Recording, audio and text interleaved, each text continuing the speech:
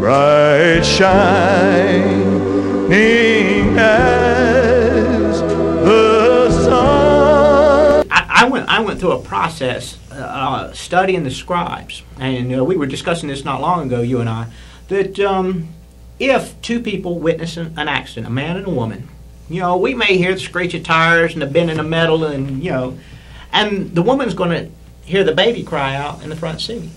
Same story, same event, two different observations, two different observers.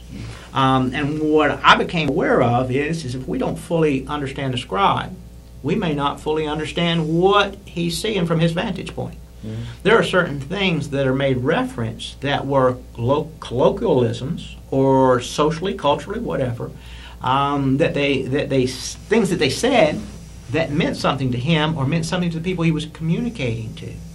And it may have been a pointed argument. Paul was Paul did that. Well, well, well the unfortunate part about it, m- many teachers, since the beginning of time, if they want to, to group a mass of people together, they find a common foe and say, bad people over there, and that's the enemy, come join us over here. And so what happens is they polarize the community. Is that guy really bad? Is. Yeah. Uh, uh, you know, the, the Protestants, you know, there are Protestants that say Catholics are bad. Are they bad? Probably not. Are the Catholics say the Protestants? Are they bad? Well, well, all men are flawed in their heart.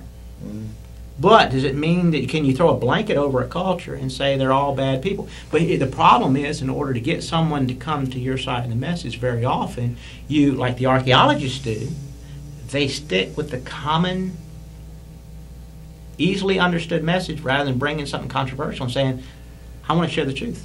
Here's the funny thing: when academics engage our work, they says the problem we have with your work is you use the word truth too much. There's no place in academia today for the word truth. You can have theories, concepts, beliefs, you know, but no truth. They said when you state something is true, it means there's no debate. And I said, well, when I find them and say it's here, when I line it up and say that's the way it is. Well, that, that's an underlying that's an underlying current there. I see.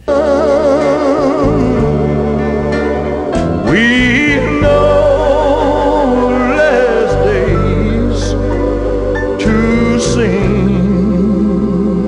God's praise, and when when we first